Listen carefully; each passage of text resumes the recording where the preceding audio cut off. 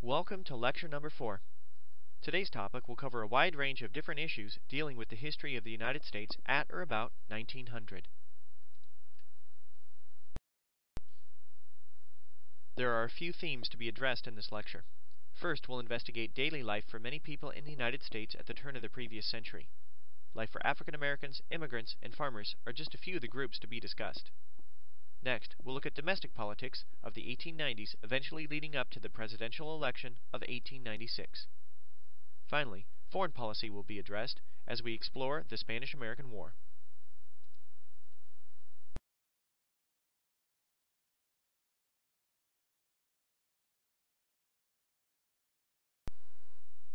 We will begin the core of this lecture by investigating the economic situation faced by many African Americans during this era.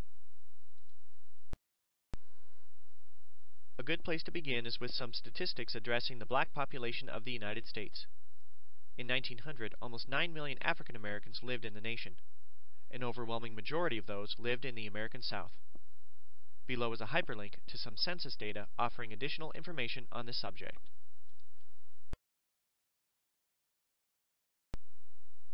The 1870s, as many as maybe 15,000 African American families became exodusters as they left the Deep South and moved to Kansas in order to establish homesteads of their own. The reason why there weren't more of these families is because it took a lot of resources in order to make this journey.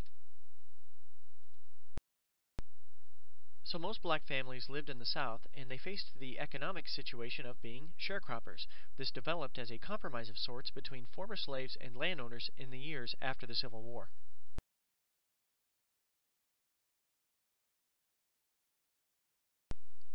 There were a variety of characteristics associated with sharecropping in the American South. Typically, landowners would subdivide their plantations into 50 acre plots. An individual family would be responsible for raising crops, usually cotton, on those 50 acre segments. Secondly, because sharecroppers had very little money, they usually would give 50% or half of their crop as rent in return for the use of the land.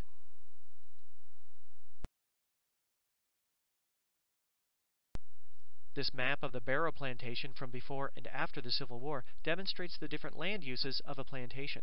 On the left, we see a large plantation including slave quarters from 1860. In 1881, we see the same plantation, however, it's subdivided into different plots for Sabrina Dalton and Lizzie Dalton in the upper right, and then we see Frank Maxey, Joe Bug, Jim Reed, Nancy Pope, and many others in those 50 acre plots on the right.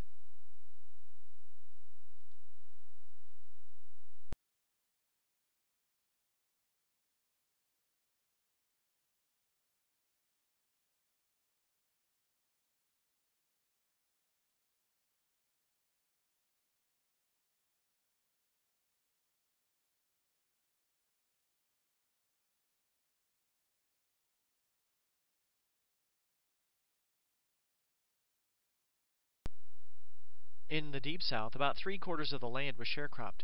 By the way, most black families were sharecroppers, but there were a significant number of white families who also sharecropped the land. This map provides a visual aid demonstrating the percentage of sharecropped farms by county in the American South by the late 1800s. In most communities, sharecropping was combined with another economic system called crop lien. This very often involved merchants advancing sharecroppers a variety of different supplies on credit. Sharecroppers would need seed, tools, maybe even livestock or furniture. How about some food in order to survive until their crops came in? The problem was that the interest rates were incredibly high because sharecroppers didn't have any collateral. They might pay as much as 50% in interest for the products that they received.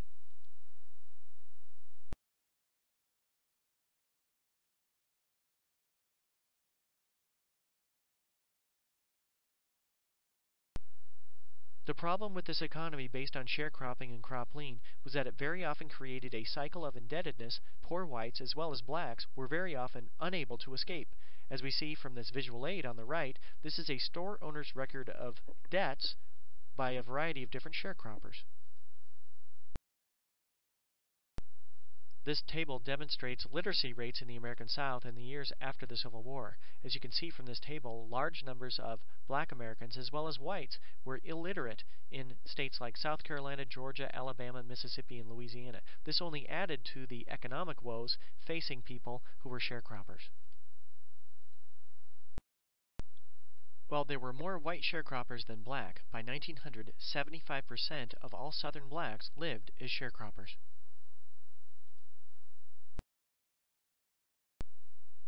Thus far, the lectures focused on the economic situation facing many African Americans at the turn of the century. We'll now explore the system of segregation in the United States and its legal basis. The court case Plessy v. Ferguson was one of the most important and controversial rulings ever handed down by the Supreme Court. It involved a law in the state of Louisiana that required that all railroad cars be segregated on the basis of race. A man by the name of Homer Plessy sued, and he claimed that this wasn't equal treatment under the law. Eventually, the Supreme Court issued a ruling in 1896. By an 8 to 1 margin, the Supreme Court ruled that separate facilities for people of different races were legal, as long as they were equal in quality. This gave us the so called separate but equal doctrine.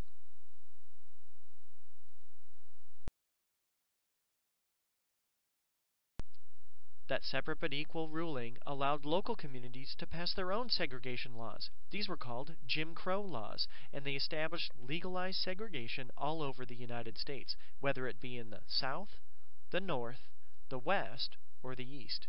And just about everything was segregated hospitals, theaters, courtrooms, schools, cemeteries, and many other items. On the right, we see an image from a little bit later in the 20th century, but what we see is a Coca Cola dispenser, and they're encouraging people to purchase their product. However, white customers only.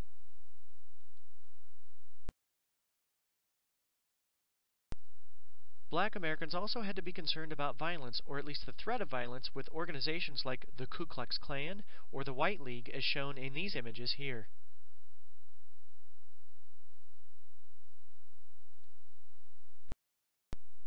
Violence against black Americans was a real concern, as these statistics from the late 1800s and early 1900s show.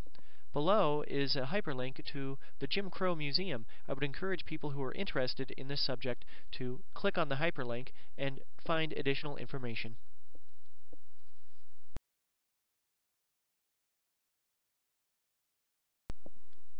The next topic to be explored will be immigrant life in the United States in 1900.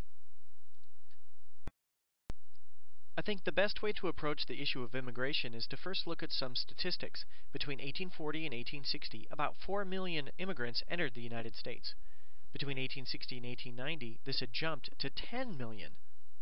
Between 1890 and 1920, 18 million immigrants entered the United States. And one of the things that's interesting about this latter period is that these were so called new immigrants, immigrants from eastern and southern regions of Europe.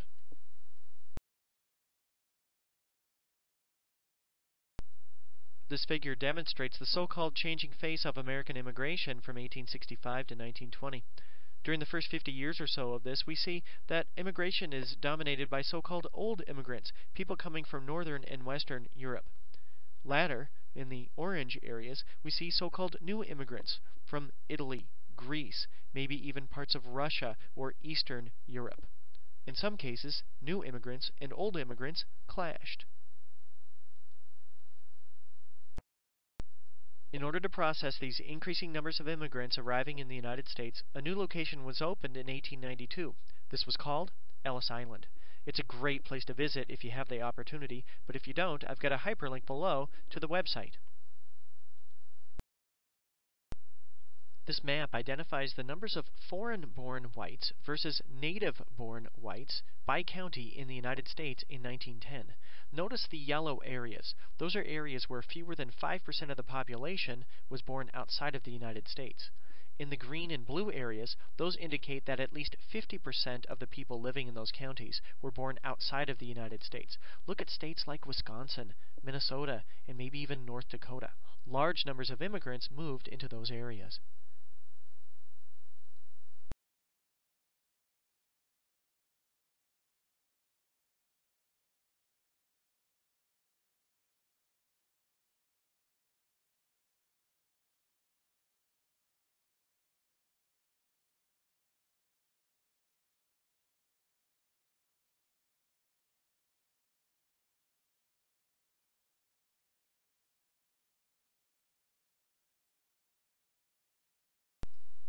As large numbers of immigrants entered the United States, we also see tremendous urban growth in the years after the Civil War.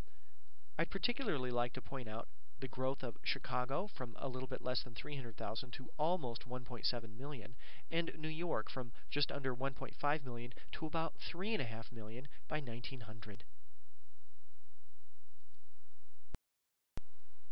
Living conditions in these growing cities were very far from ideal.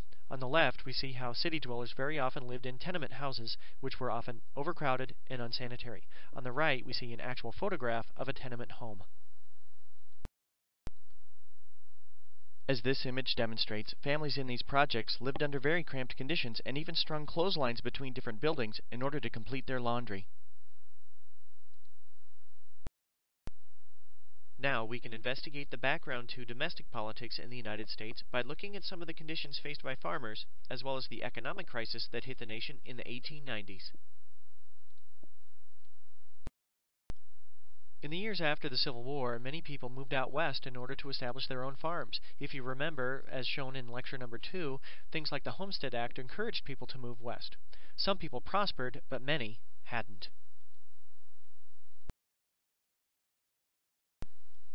Farmers faced a variety of different problems in the late 1800s as shown by this table. The green areas indicate where farmers had enough income in order to pay for their expenses. However, the pink areas shows where their income fell short. Beginning in the mid 1880s, we see several years in a row where farmers didn't make enough money in order to pay their bills. In order to provide support for each other as they faced hard times, many farmers began to organize in a group. The name of that group was the Grange. The Grange was founded in 1867 by a member of the Department of Agriculture named Oliver Kelley. Their goal was to provide education and emotional support to farmers in the American West. They were very often angry at practices of the railroad. The railroad companies often gave discounts to large businesses and charged higher rates to farmers. By 1880, membership very often dropped when prices temporarily recovered, but they showed that farmers could be a potential political force in U.S. politics.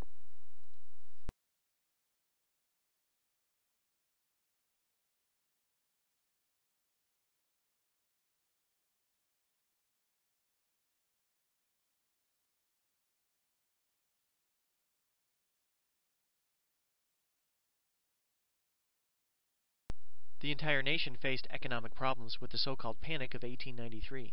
In many ways, this was associated with the railroad industry, which had grown up until the 1890s, yet the growth slowed by that decade.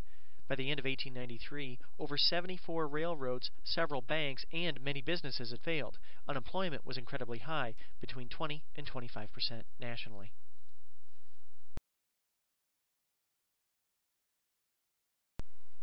Many demonstrated their anger at the lack of government involvement to help by joining Coxey's army. He and a group of many others demanded that the government sponsor a system of public works in order to bring those unemployment levels down.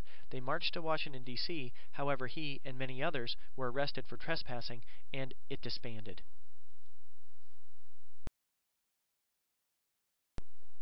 Panic of 1893 was the worst economic depression to face the nation until the decade of the 1930s. Some were angry as the election of 1896 approached, with President Grover Cleveland, who took a hands off approach to resolving the depression.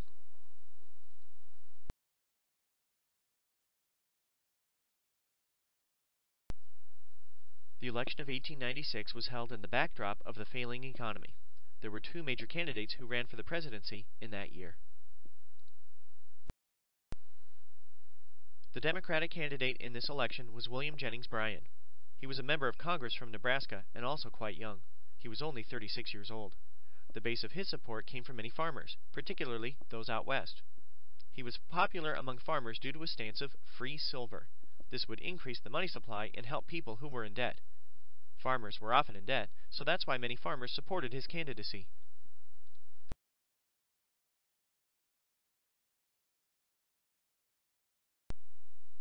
The Republican nominee was William McKinley. He was a veteran of the Civil War, a former congressman, and a two-term governor of Ohio. In opposition to Bryan's stance of free silver, he wanted the United States to maintain its support of the gold standard. In general, McKinley had the support of the business community, as they feared what might happen if Bryan's policies were adopted. They also agreed with McKinley's goal to maintain high tariffs to protect American manufacturers.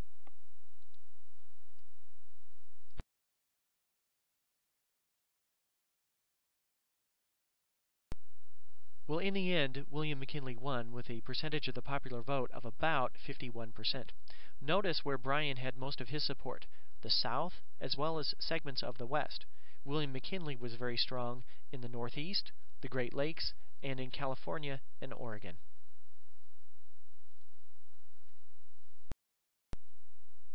The lecture's focus will now switch to some of the key issues surrounding the nation's foreign policy of this era. We'll begin with some background to the Spanish-American War. The Spanish-American War took place in 1898, and as the title would suggest, it was fought between the Americans and Spain. However, the controversy between the two countries really was over conditions faced in Cuba.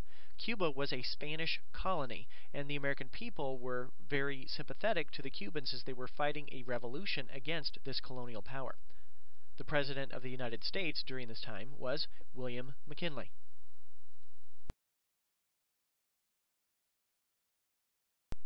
Now, the reason why the American people even knew about what was going on in Cuba is because of the so-called Yellow Press. These were a series of journalists who often stretched the facts in order to sell newspapers. There were two major newspapers, the New York World and the New York Journal, who were engaged in a titanic duel of circulation as they tried to sell newspapers to the American people. They began to report many of the atrocities, some of which were true, some of which weren't, which were taking place in Cuba. The New York World was run by Joseph Pulitzer, and the New York Journal was operated by William Randolph Hearst.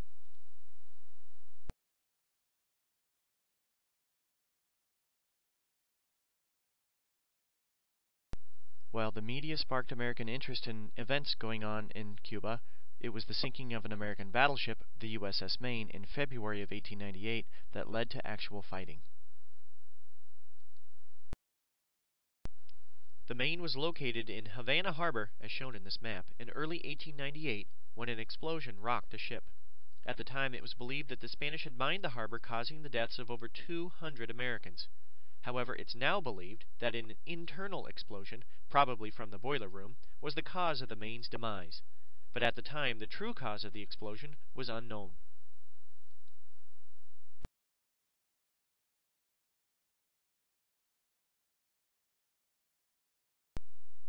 Combat took place in both the Philippines and Cuba. Under the direction of Admiral Dewey in May of 1898, U.S. forces steamed into Manila Bay and either captured or destroyed all ten Spanish ships at the cost of only one American life. U.S. troops then occupied Manila by mid-August.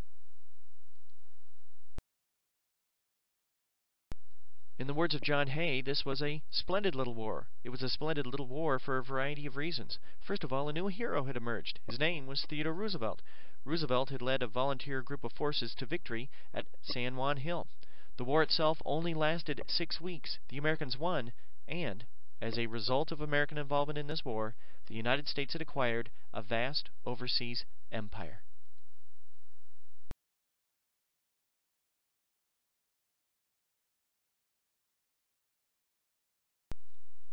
This map identifies several areas outside of the contiguous United States that were acquired by the U.S. in the late 1800s. The best examples as a result of the Spanish-American War would include the Philippines, Guam, and Puerto Rico.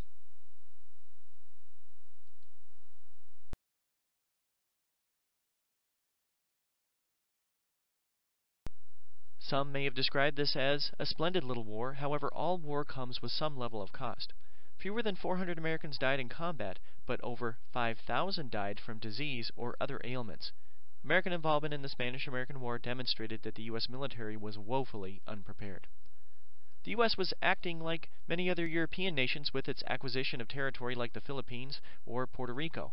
However, some argued that this violated the principles of the Declaration of Independence, upon which the United States had been formed in the late 1700s. Now that the core of the lecture has been completed, we can review some of the main issues which were discussed. Well, this lecture has covered a lot of different topics, one of which was daily life.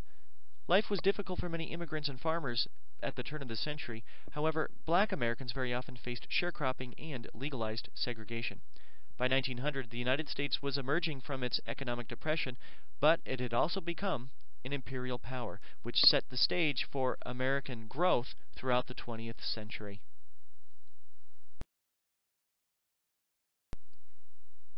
Well, this concludes Lecture 4 for this class, The United States at 1900. I hope you learned something new today. The next few slides will show some of the sources used for this lecture, as well as some additional hyperlinks to find more information on these topics. Have a great day.